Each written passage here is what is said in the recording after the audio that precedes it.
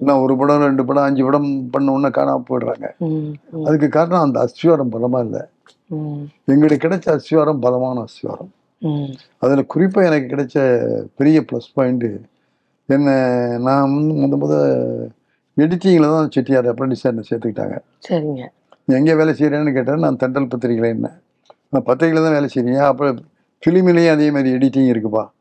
Editing தான் சினிமாவுக்கு junction அங்கே வேலை பழகிட்டு அப்புறம் நீ எந்த டிபார்ட்மெண்ட்டுக்கு வேணாலும் போகலாம். அதுவே போய் எடிட்டிங்கில் வேலை பழகி